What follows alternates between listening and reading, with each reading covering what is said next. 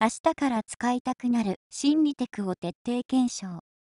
奥手な男性たちが心理学を学んで、クリスマスまでに彼女を作ろうプロジェクト。婚活パーティー編。3人の奥手な男たちが、婚活パーティーで、いよいよ恋愛心理テクを実践。下町ロケットにも負けない3人の男の熱き戦い。相手の仕草で心理が丸見え。簡単。心サイン。山本博則も大興奮。日本生まれの日本育ち。